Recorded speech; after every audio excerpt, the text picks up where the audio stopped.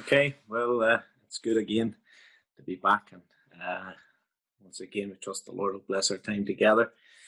Um, it is maybe just helpful to remind ourselves that we're we're looking at the foundations of reality, as Andrew has been saying, and uh, the reason that's helpful is because uh, many of the subjects that we are speaking about, um, we're not really we don't just have the time to, to enlarge upon the subject the whole way through scripture. So we're looking at the foundation of things, and um, we're hoping that that will prove uh, encouraging to us. So we, have thought a, a, lot about God over the past few days, and uh, in the section today, my section, we're focusing upon man, uh, man's dignity, uh, the image of God. And I want to read a, a, passage with you briefly. It's found in Genesis chapter 1, and we'll read from verse 26.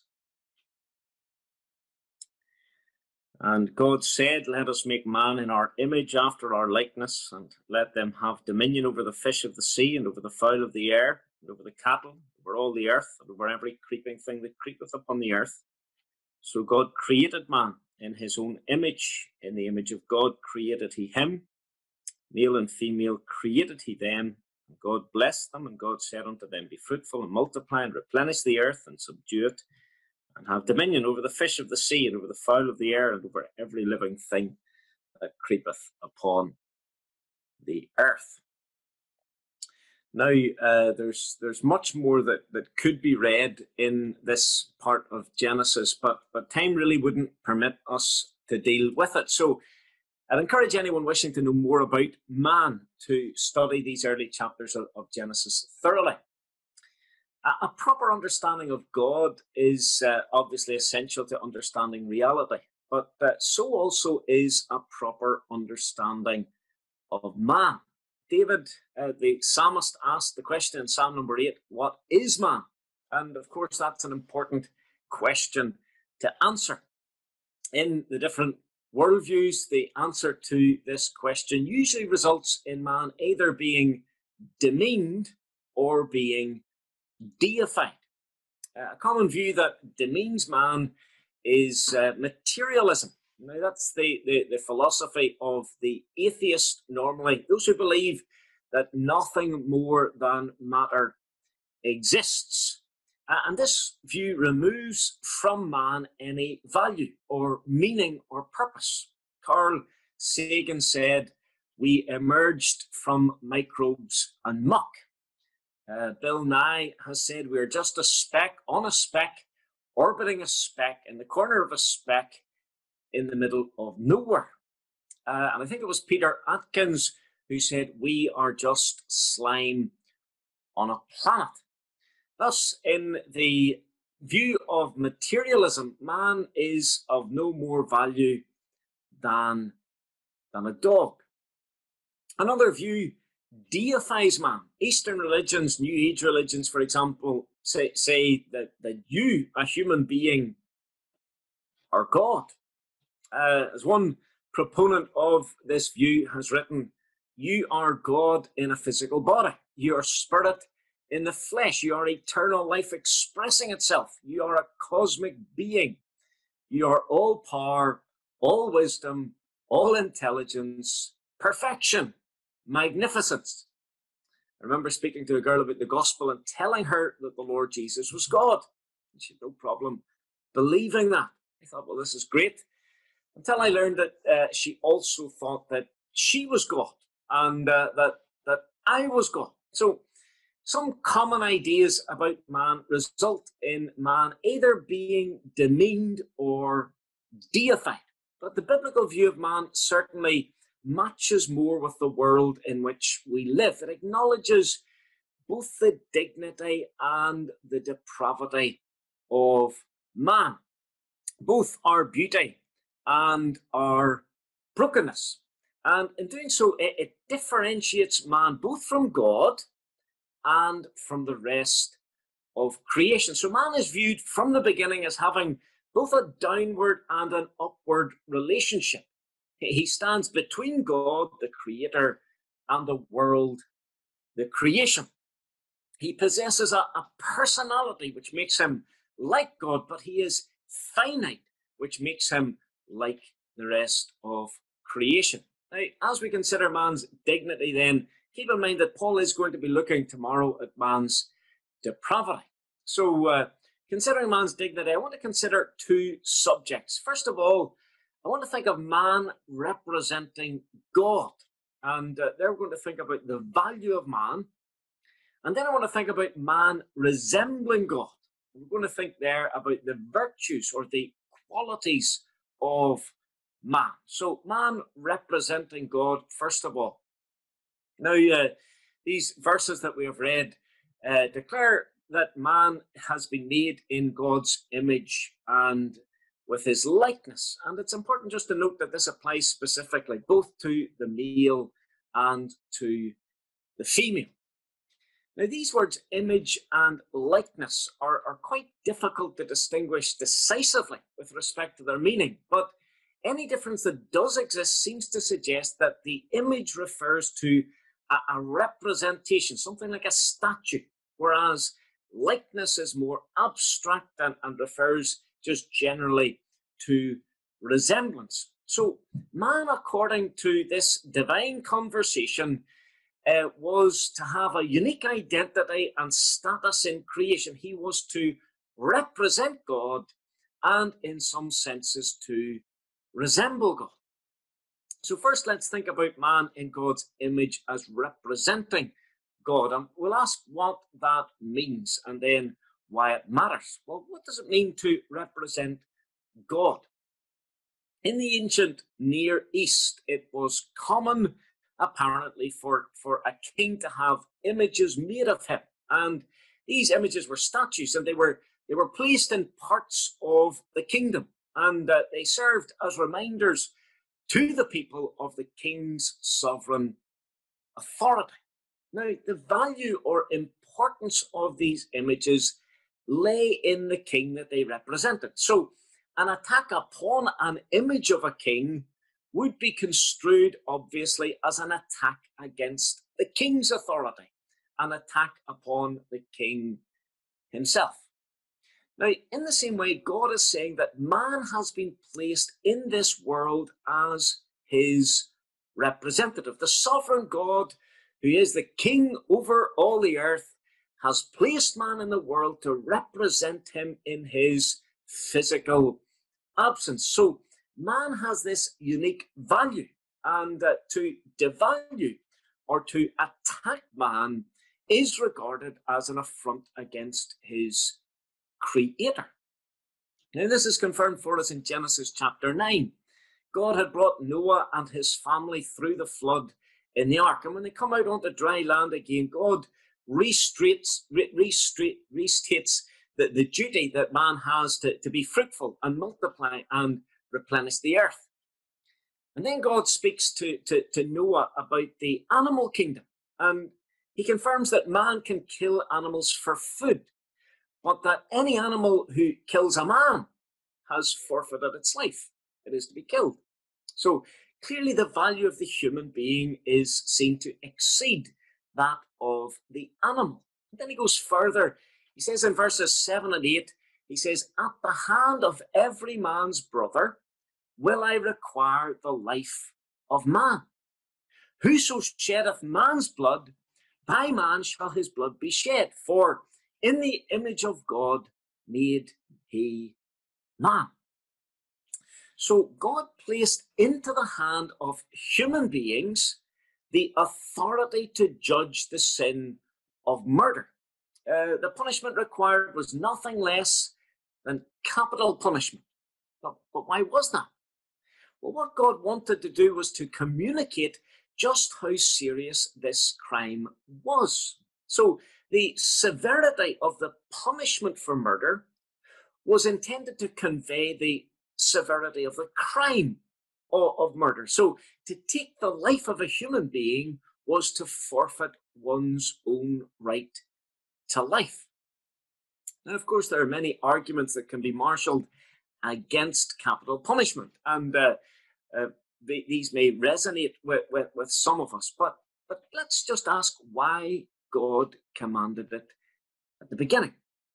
It was because murder is the ultimate rebellion against God. It is the deliberate destruction of God's representative on earth. Uh, and to minimize punishment then for that crime is to minimize the crime itself and ultimately to show disrespect for the creator. You see, people destroy images because they hate what the image represents. He happened upon a picture of the Queen and it had been defaced, you wouldn't think that the person who did it held any respect for the Queen. in very recent times, uh, both here and in the United States, there's been a spate of uh, the destruction of, of statues. Uh, and these images, they represent historical figures and they've been defaced or removed, and some of them have been destroyed. Now, why was that done? Well, because the people who did it wished to express their antagonism against the person the image represented or against what the image represented. So, man is made in God's image, he represents God, and so any devaluing of man is to be regarded as an attack upon God. The fact is that the devaluation of human life runs in tandem with rebellion against divine authority. And we see this principle throughout Scripture. For, for example, in Proverbs chapter 14 and, and verse 31, we, we read this Whoever oppresses a poor man insults his maker. But he who is generous to the needy honors him, that is, honors God. Here we have a person who wouldn't normally be valued much on earth, the poor man. However, he's regarded by God as valuable. And God takes personally as against himself the mistreatment of the poor man. Now, the Lord made a similar point in, Mark chapter 9 uh, there, his disciples are arguing who's the greatest, and, and the Lord says that greatness in the kingdom involves self sacrificial service toward others. Then, in that chapter, he, he takes a child and he puts him in the midst of them there, and he takes the child up in his arms, and he, and he says to the disciples, he says, Whoever receives a child like this in my name receives me. And whoever receives me receives not me, but him who sent me. Now, the point seems to be that a child, though not considered at the time of great value in the world, is of great value as God's image bearer. So, greatness in God's estimation involves affording to all human beings the value that He has conferred upon them at creation, even the child and the poor have inherent value, and to demean or despise them in any way is to insult God. Now, why does that why does that matter? Well, hopefully you can see that, that Christianity is here giving a, a solid foundation for the valuing of every human being and for human rights. Doesn't matter if a person is male or female, or old or young or rich or poor or healthy or sick or black or white or moral or immoral or religious or irreligious. Doesn't matter the size of the person or their development. Doesn't matter the, the degree of dependency that they have or the environment that, that they live in. Every human being possesses intrinsic worth as God's image bearer in this world. Now, an important point just to note there is that the value is intrinsic rather than extrinsic. That means simply that the worth of a human being doesn't lie in what they do, but in what they are. So that a person doesn't have to be successful or beautiful or healthy or, or, or strong or intelligent to be valuable. Uh, every person on God's earth is of great worth and is worthy of respect a few months ago, I, I had a very interesting conversation with a man who was quite militantly atheistic. Uh, he, he, he, he was very much on the attack And uh, but at some stage in the, the in the conversation, he, he challenged slavery, and he said that the Bible supported it. Now I mentioned that man stealing was expressly forbidden in the Bible, and, and I talked a little about, about the nature, a little bit about the, the nature of slavery in, the Old Testament. But but at one point I, I said this. I said, "Listen, I want you to do something for me." I said, "I want you to pretend that I am a slave trader who is an atheist. Now you are an atheist, and I want you to show me why, on your worldview, I should release my slaves." Well, he stuttered and he stumbled. And uh, eventually he said, Well, you know, that, that's not really an easy thing to do. And I said, Of course it's not. Because in your view, human beings don't possess any intrinsic worth. So why not use them or mistreat them?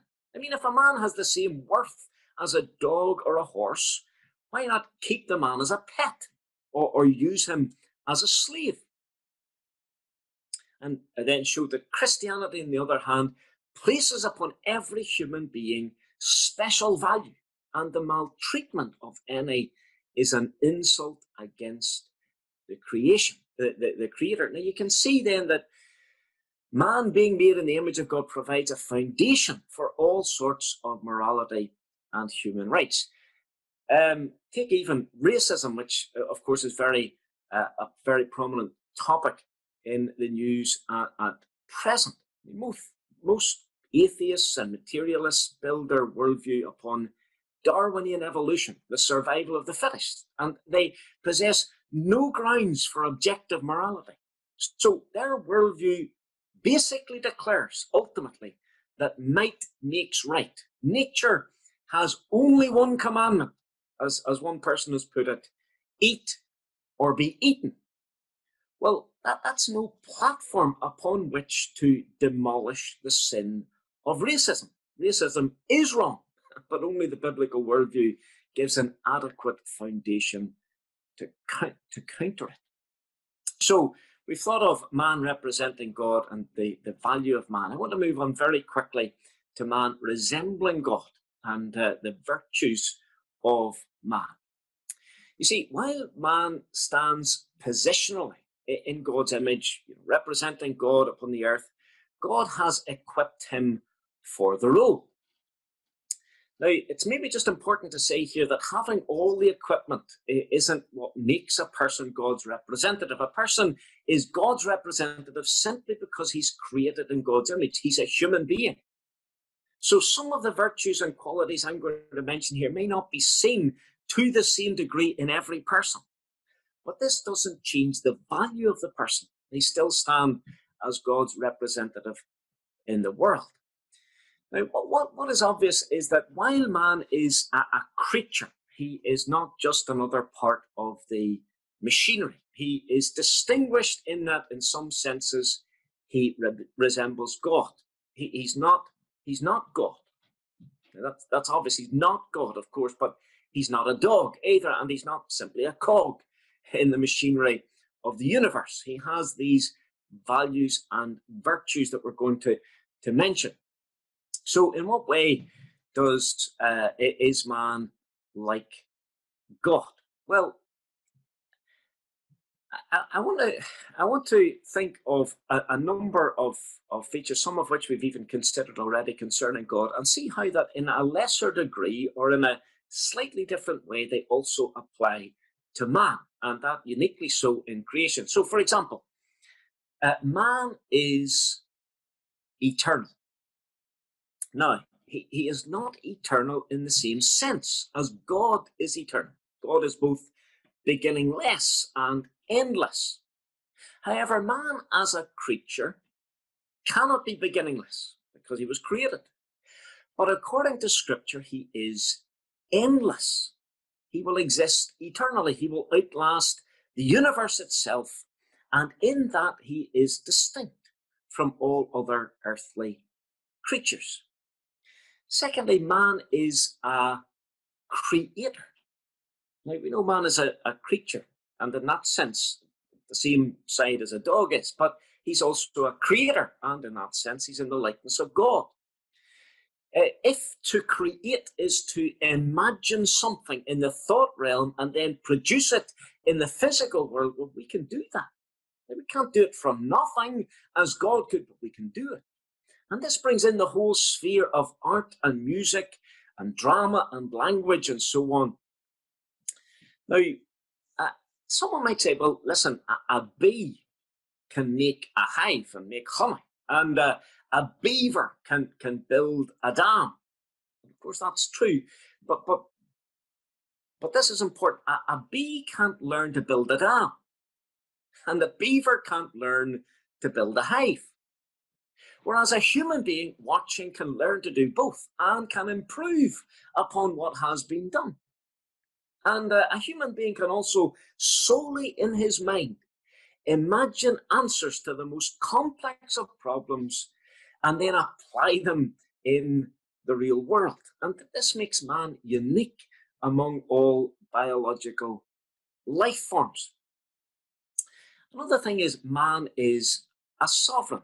Now, he, he is undoubtedly God's vice regent on the earth.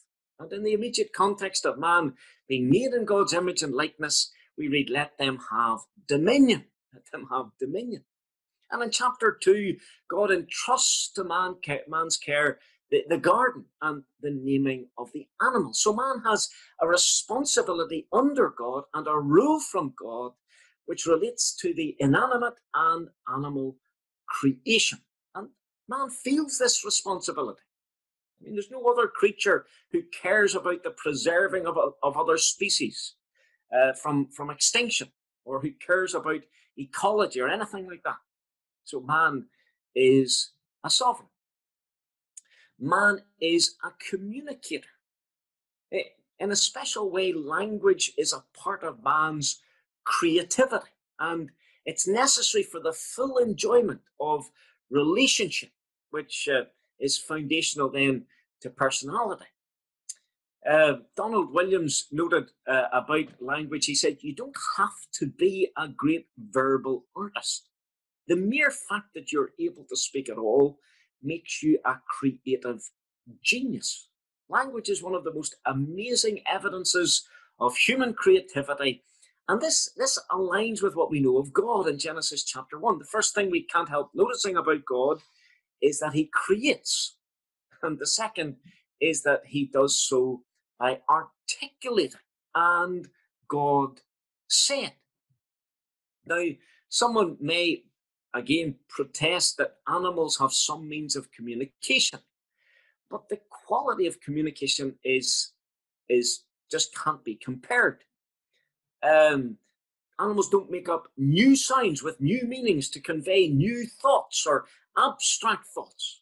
As human beings create language spontaneously, and uh, and they, they they use it to communicate to other human beings ideas and concepts previously unknown to that other human being. Like think about what I am doing presently. It's possible that there's someone listening who hasn't ever really thought about the image of God in man, and yet I'm communicating this to you simply by the use of language, and all of a sudden I am invading your mind with thoughts and uh, something of of my personality is being communicated, and uh, there's a there, there, there's a relationship that results from that. And uh, God confirmed this unique character of man not only by commanding him to do certain things, but by conversing with him in these chapters. Uh, another thing is man is volitional. Just as God expressed the ability to make a free choice in creation, as we thought at the beginning of the week, so man expressed that same ability when, for example, he created the names for the animals, uh, when he chose to disobey God. Uh, so, alone among all of creation, God singled out man to give an option to him. In Genesis 2, he makes a commandment, he tells Adam of the consequence of disobeying that, and then he leaves Adam with a choice. We know that Adam made the wrong choice. I, I think Francis Schaeffer has, has put this helpfully. He said, To ask that man should have been made so that he was not able to revolt is to ask that God's creation should have ceased after he created plants and animals. It is to ask that man should be reduced to machine programming. It is to ask that man as man should not exist. So it's important to see that God's sovereignty, even at creation, was not threatened by man's free choice. God's ultimate control is not challenged by our personal choices. Now, um, we're going to have to come to a conclusion. We'll do one more. Man is relational. Uh, Paul emphasized yesterday the triunity of God and showing God to be essentially rela- relational.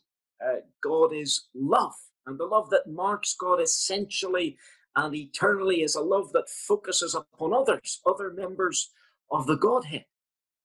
It is the volitional blessing of other persons. And this has been the, the fellowship within God eternally.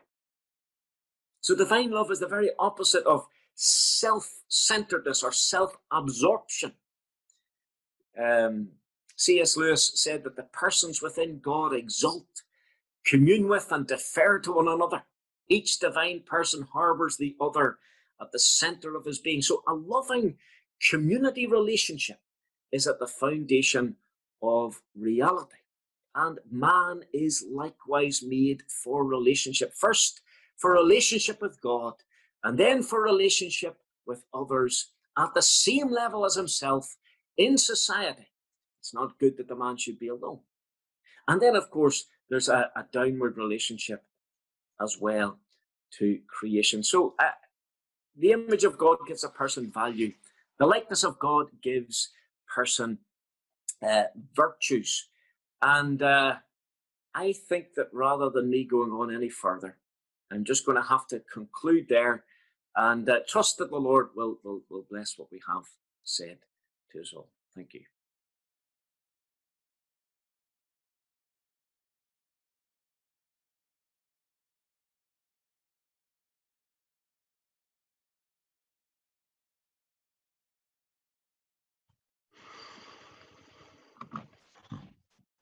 Thank you, uh, everyone. Good to see you. And we'll read from Genesis 1, uh, verse 26 to verse 31. Genesis 1, verse 26. And God said, Let us make man in our image, after our likeness, and let them have dominion uh, over the fish of the sea, and over the fowl of the air, and over the cattle, and over all the earth, and over every creeping thing that creepeth upon the earth. So God created man in his own image, in the image of God created he him, male and female created he them. And God blessed them. And God said unto them, Be fruitful and multiply, and replenish the earth, and subdue it, and have dominion over the fish of the sea, and over the fowl of the air, and over every living thing that moveth upon the earth. And God said, Behold, I have given you every herb bearing seed which is upon the face of all the earth, and every tree in which is the fruit of a tree yielding seed. To you it shall be for meat, and to every beast of the earth, and to every fowl of the air, and to every thing that creepeth upon the earth wherein there is life. I have given every green herb for meat. And it was so. And God saw everything that he had made, and behold, it was very good. And the evening and the morning were the sixth day. When we say that God is good, uh, there are two things uh, that could be understood. We could be meaning uh, one of two things, or perhaps both of these things when we say that God is good. We could be saying, uh, we could be making this statement that God is good within himself. That is, he is intrinsically good. Or we could be uh, expressing this that God is good to us. That is, he is extrinsically good. Uh, he's beneficent. He benefits us. And of course, both of these things are true, and both of these things are worth considering. And that's what we're going to be thinking about for the remainder of our time this morning as we think about the goodness of God. So I want us to think, first of all, about how God is intrinsically good. That is, God being good means that he is morally perfect. Uh, he is absolutely morally good. And this, just like the truth of his love, is founded upon the fact that God is triune. It is because God is a Trinity, it's because God exists eternally in relationship, in community, that that means that God is essentially a moral being. He is eternally, essentially good. When we say that God is good, we're not saying that God conforms to a standard of goodness outside himself. It's not that there is a standard of goodness uh, that God has to conform to. It's not that there is a rule that God has to obey.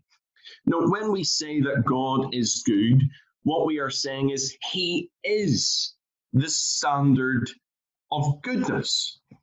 Now, I put to you that this really makes no sense if God was a Unitarian kind of a being, if God was just a single person.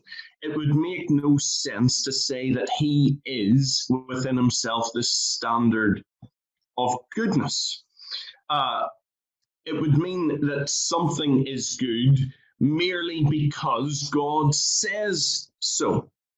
No, when we say God is good, what we're saying is that good reflects the way God is within his own nature. Within the nature of God, the persons of the Godhead interact with each other in perfect love. Uh, just as David uh, reminded us of that quote from C.S. Lewis. Uh, the persons of the Godhead regard each other with perfect love.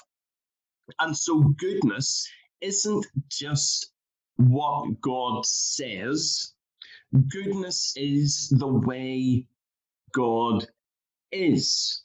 Within the being of God, there is this perfect love and regard for each other, uh, so that there is then a foundation for morality. Uh, so, just then to return to a question that was asked yesterday about why the Trinity matters, the fact is, if you pull away at the thread of uh, the, the truth of the Trinity, absolutely everything unravels. Uh, if there is no triune God, then there is no love. If there is no triune God, then there is no goodness. Uh, so you just think about those things. Uh, if there's no triune God, there's no love. What that means is there's no provision of salvation. But if you pull away at the Trinity, then it means there is actually no moral goodness which means there's not only is there no provision of salvation, there's no necessity for salvation uh, because we don't have a God who is absolutely good. We don't have a God who is righteous and holy, uh, which means then that there is no necessity for our salvation. God is good within himself. Uh, God is absolutely morally perfect. And what that means then is that God cannot act unrighteously. Uh, God cannot set aside the demands of his law. His moral perfection is something that is essential to his nature, and his law flows from his nature.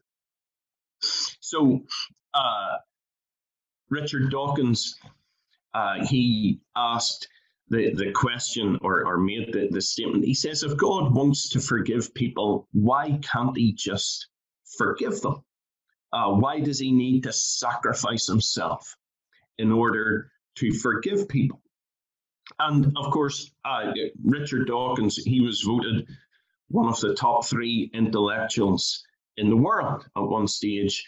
And uh, I don't think it'll surprise you to, to learn I wasn't one of the other two in that vote. But I can answer Richard Dawkins' question. He says, Why can't God just forgive people? And the answer is because he couldn't justly forgive people. Uh, God can't just turn a blind eye to the issue of sin, because to do so would be a denial of his moral perfection.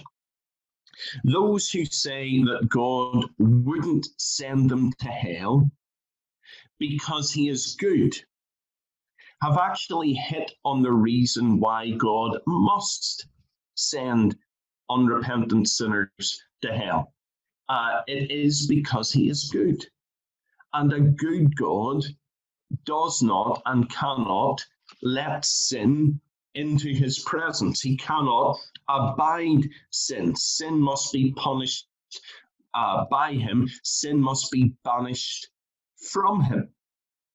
And so, those who think that the goodness of God means that there can't be a hell uh, have got it exactly in reverse. The goodness of God means there must be a hell. There must be banishment and punishment of sin.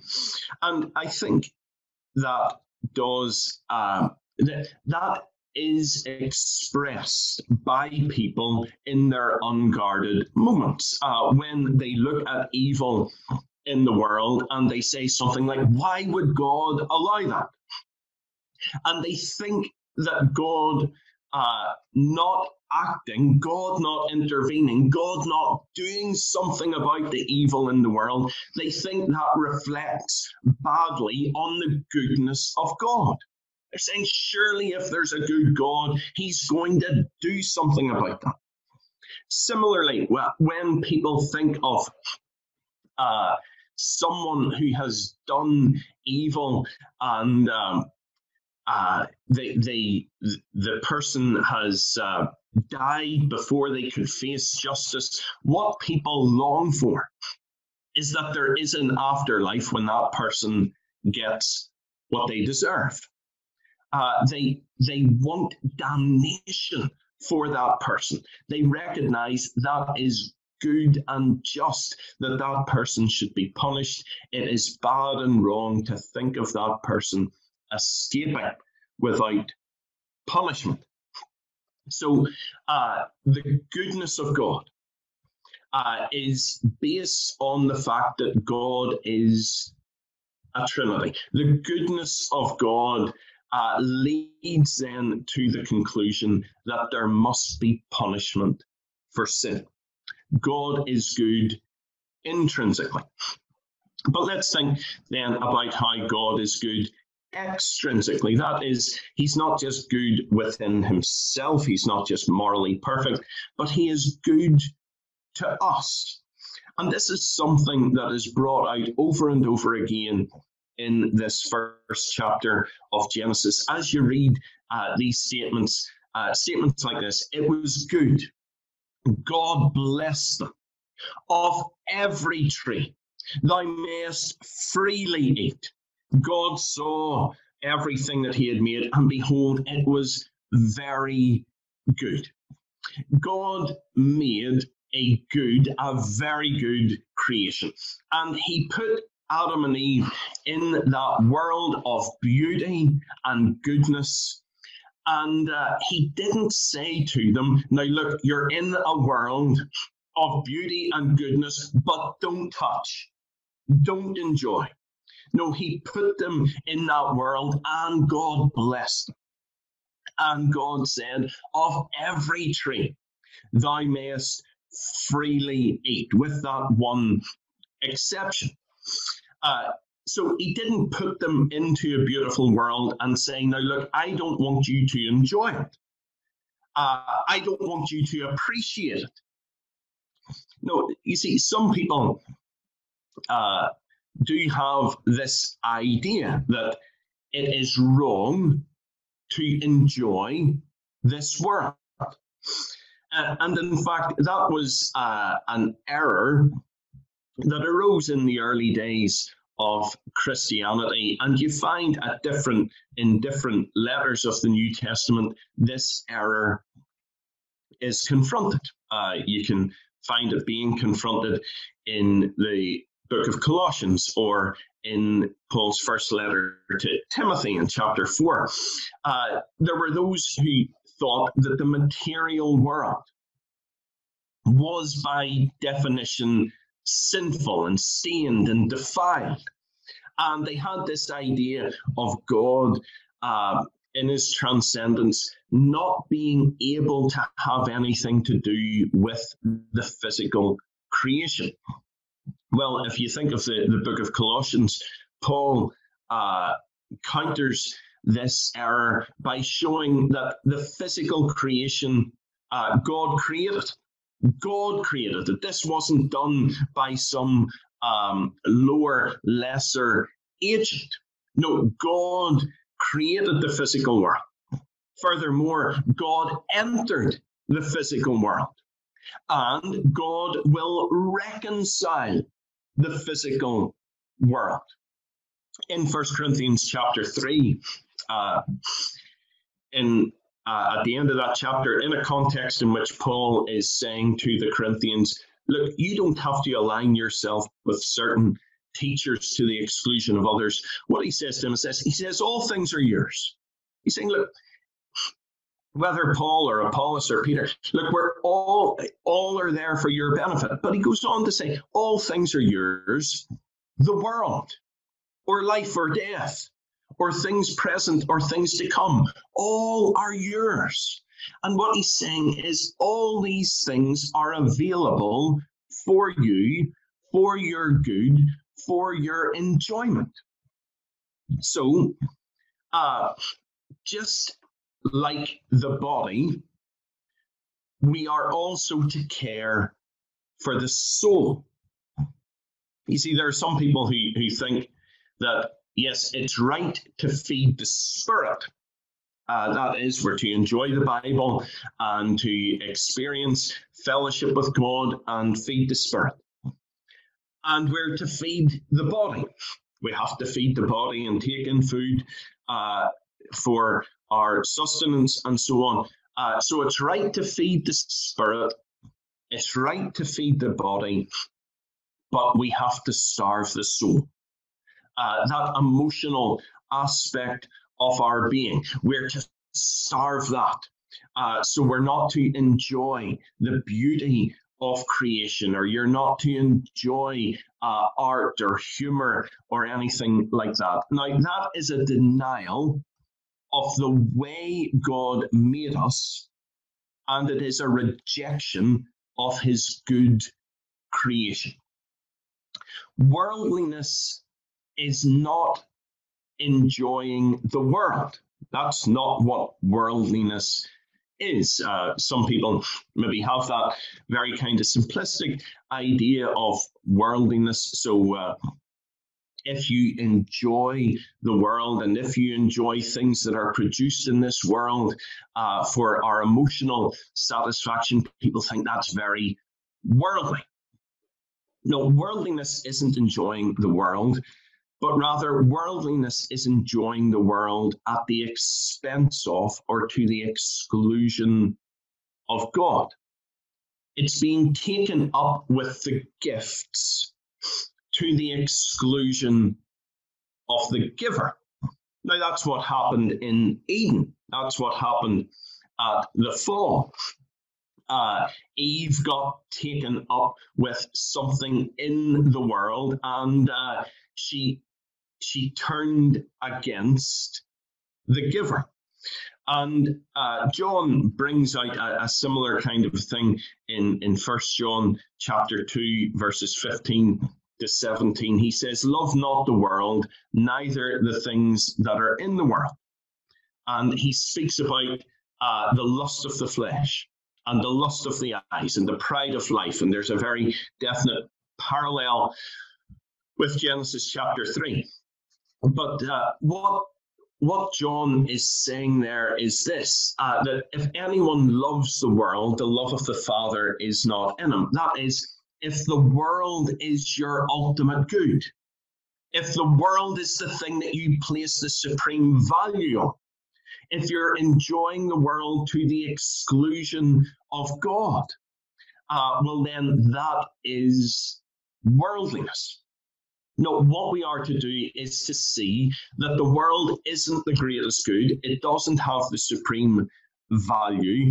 Uh, it's not the ultimate thing uh, in in the universe. No, the the world is a gift from God the Creator, and it is to be received as a gift in gratitude and to be enjoyed in fellowship with the Creator. If I give a gift to my child, the intention is that the child will enjoy that gift in gratitude to me. And that the giving of that gift will bring me and my son into a closer relationship and uh, it will increase his love for me and his appreciation, uh, and our fellowship will be deep. But if the child takes the gift and uh, runs away with the gift just to enjoy the gift and never to have any regard for me, that is a picture of, and that is the essence of worldliness.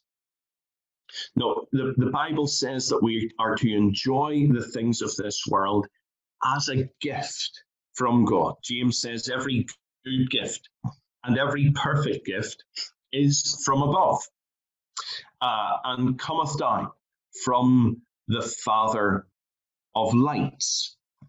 And so this, I, I think, uh, opens uh, opens the door to great joy and delight, uh, where we can actually see that every good thing that there is in the world around us, it is, as it were, offered to us on the hand of God. So, uh, the, the Lord Jesus, he says in Luke chapter 12, uh, he says, Consider the ravens, for they neither sow nor reap, which neither have storehouse nor barn, and God feedeth them. How much more are ye better than the fowls? Consider the lilies, how they grow. They toil not, they spin not. And yet I say unto you that Solomon in all his glory was not arrayed like one of these. If God then so clothes the grass, which is today in the field and tomorrow is cast into the oven, how much more will he clothe you, O ye of little faith? Now, the, the point I want to get across is this. And if you enjoy this half as much as, I, as I've enjoyed it, I, you'll enjoy it. The, the point I want to get across to you is this listen to how the Lord Jesus speaks. God feeds the ravens, God clothes the lilies.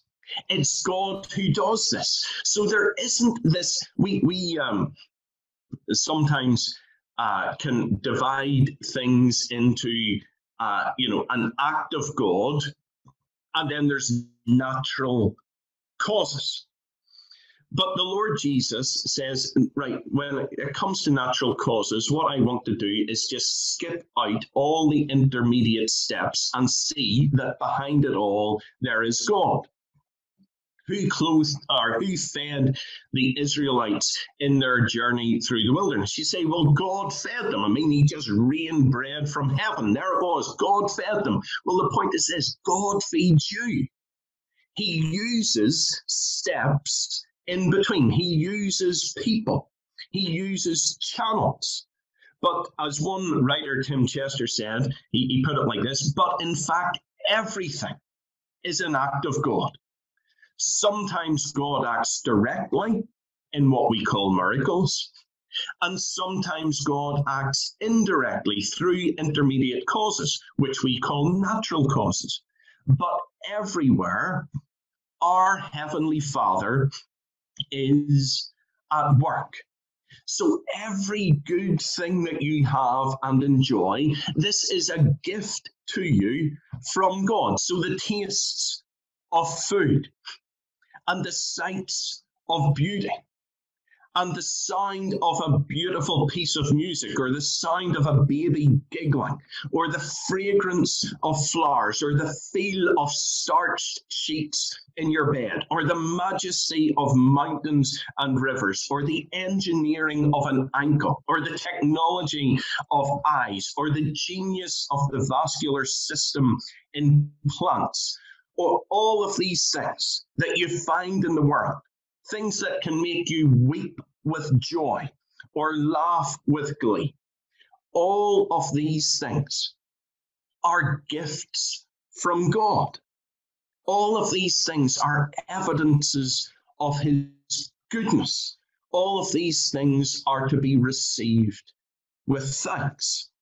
So when you see uh, a, a, a beautiful uh, landscape, when you see a beautiful piece of art, you don't just give praise to the artist, but you give praise to the supreme artist who has made the artist in his likeness, as David has been reminded, reminding us, has made has made man with the capacity to produce beauty like this when you listen to music that thrills you, you don't just praise the composer, but you praise the God who created music and created man in his likeness with the ability to do such things. When you see a wonderful work of engineering in this world, you don't just give credit to the engineer,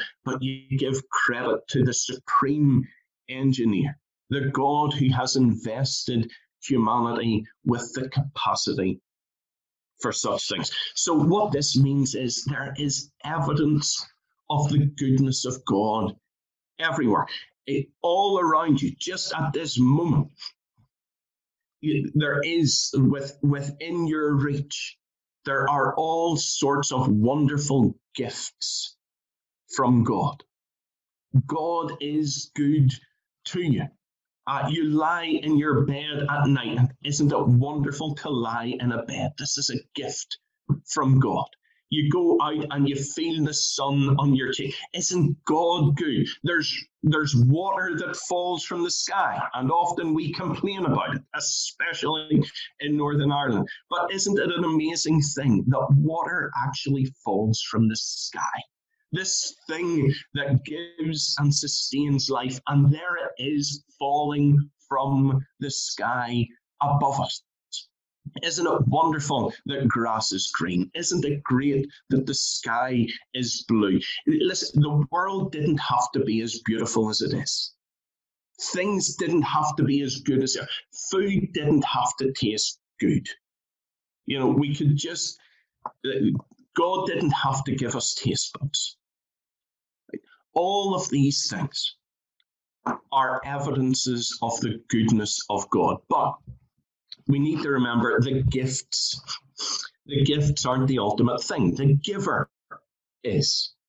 And so we are not to be like the heathen that Paul refers to in Romans 1 who were not thankful. I remember hearing the story of a, a boy brought up in a Christian home and uh, he went to his friend's house, and his friend uh, that wasn't a Christian family. He was there for tea, and the tea was put on the table, and everyone just fell upon it and uh, started to eat. And the boy was just sitting there looking quite puzzled, and he says, "That's what my dog does." Uh, just dive on the food without giving God thanks. Now, the thing is, it's part of our uh, culture and makeup and upbringing, it's ingrained in us to give thanks for food. But aren't there so many things that we just take for granted? so many gifts that we receive without giving God thanks. And let us remember as well, there are all these good and wonderful gifts around us, but let's remember the most valuable gifts. Uh, let's not let's not just say, right, well, God has given us this world to enjoy, so I'm going to enjoy it to the full. Let's be prepared to sacrifice lesser gifts for greater gifts. I remember hearing Charles Swindoll say that uh, there are only two things in this world that last forever people and the Word of God. And that tells you where you should be investing your time uh, let's make sure that we're investing in those gifts that actually last forever. God is good. How good is the God we adore? Now let's give thanks and ask his blessing on us. Our God and Father, we do give thanks to thee for thy goodness shown to us in so many ways. We think of the extravagance uh, of thy gifts and we're overwhelmed uh, as we consider all of these things. We are immensely blessed, and we want to acknowledge Thee as a good God and pray that Thou will help us uh, then to be grateful for all the things that Thou hast given us. We give thanks for our time together.